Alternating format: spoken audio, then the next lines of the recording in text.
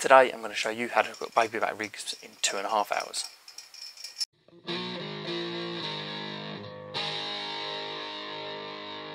Hi, welcome along to Barbecue Life. My name's Tom. Today we're cooking baby back ribs on the Ninja Woodfire and as I said we're going to do these in two hours. Let's jump straight in. So we bought some baby back ribs from Morrison's. So these are cost about £4 a pack and they just need a little bit of tidying up on some of the ends. So on the backs we've just got some little scruffy bits on the ends. We're just going to trim those up. I'm not too worried about squaring things off and things like that. I want to get as much meat off of these as possible. But if you've got anything that's hanging off, then it's good to just zap that straight off of there and then you're not going to end up with any really crispy pieces towards the end. And the other thing that we need to do is we need to take the membrane off. So I always take the membrane off because then it lets me get rub on both sides of the meat. If you're not too fussed about getting the rub on the back side of the meat and you like a bit more of a crunch in your ribs on the bottom half then you can leave the membrane on but I always remove the membrane. It's not a texture I'm a fan of on the bottom. So we just take a spoon. So I've just got a little teaspoon.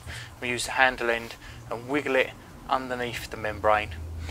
Get it in as far as you possibly can and then I'll raise that spoon up and it kind of cracks it off the back and then I can get my hands in underneath and work my way along either end. So starting in the middle and then working my way out.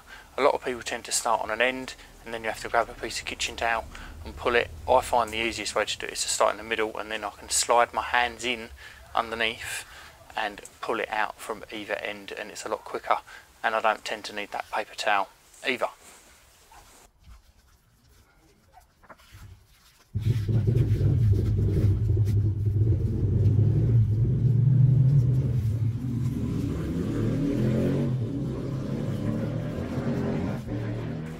So once we've got them ready, next thing we're going to need to do is we're going to need to go on with our binders.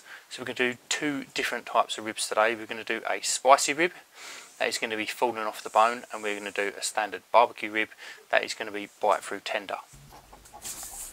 So with our standard barbecue ones, what we're going to do is we're going to get some mustard on there as a binder. So I'm just using a yellow mustard, so you can use Frenchie, something like that. I like the mustard that you get from Ikea.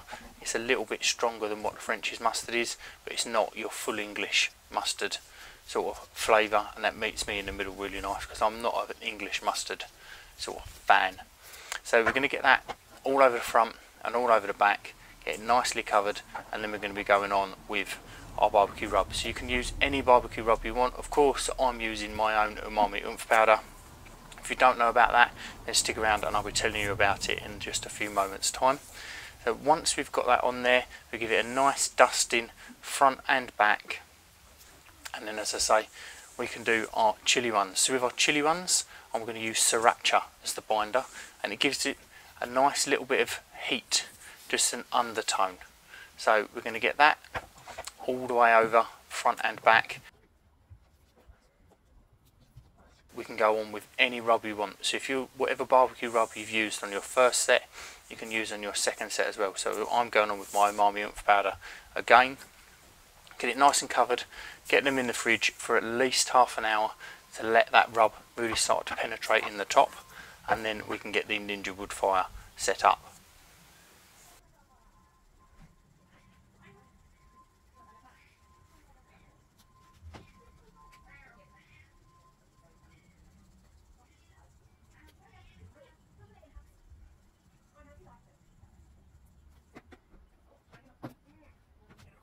So pellet wise today, I've got some pellets from the uh, Pellet Man. So these do have another word in there, that word being ninja. He's not allowed to use that word anymore, but I bought these before he had that taken away. Um, that's Steve over at Dutchy Cooking. He has had some issues with Ninja as a brand.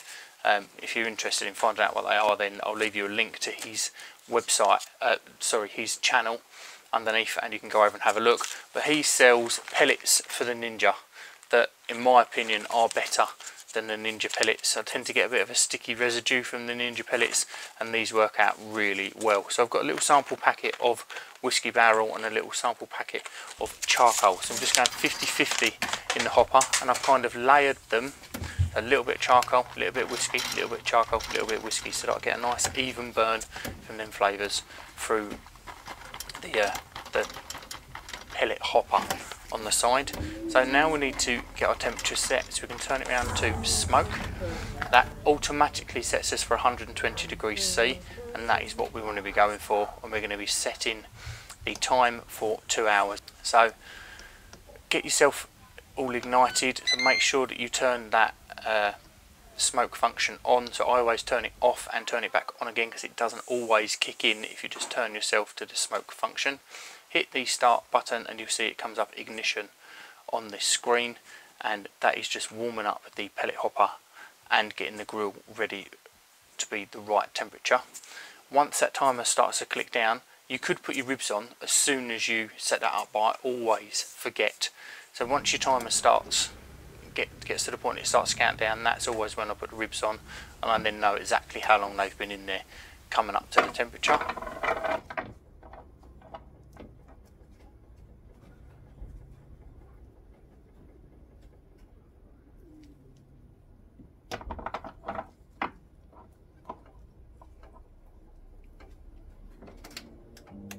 And these came off an hour and a half into the cook.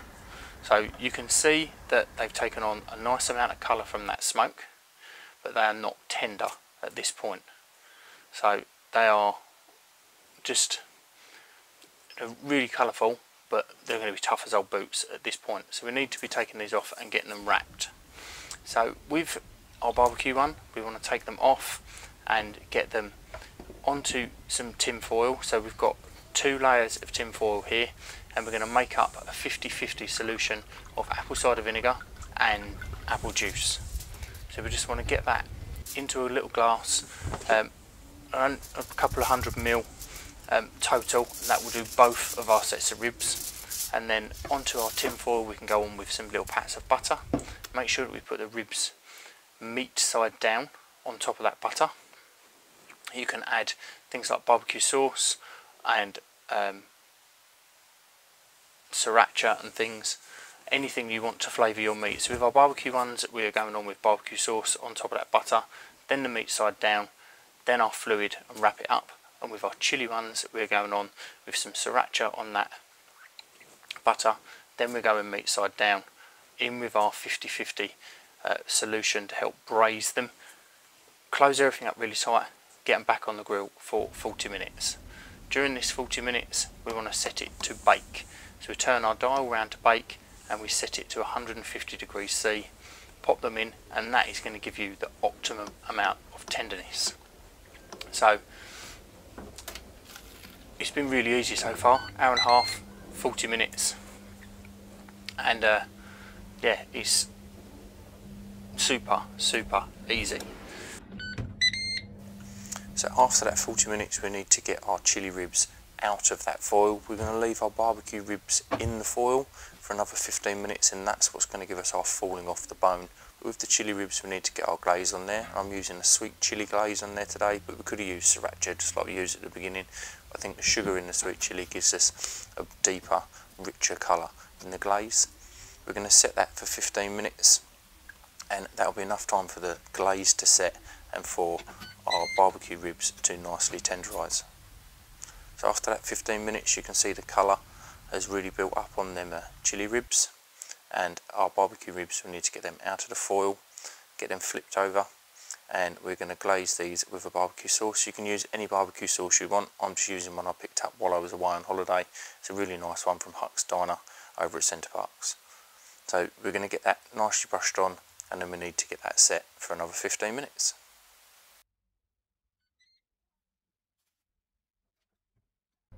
If you wanted to be cooking these falling off the bone and non-falling off the bone all I did was I loosely wrapped them back up in the tin foil that they'd been braising in earlier on covered them over the top in a tea towel and that just lets them rest while these other ones are cooking. After that 15 minutes they are completely cooked through and they will be falling off the bone. So we don't have a taste test today because by the time I finished this it was getting quite late and it was quite noisy out in the gardens. It is as it is now summer holidays so the taste tests are not going to be the easiest things to be doing but I can assure you that these are absolutely fantastic and they are done in two and a half hours. So if you like what we're doing here at Barbecue Life then please do subscribe to the channel, make sure you like the video and thank you very much for watching. Cheers.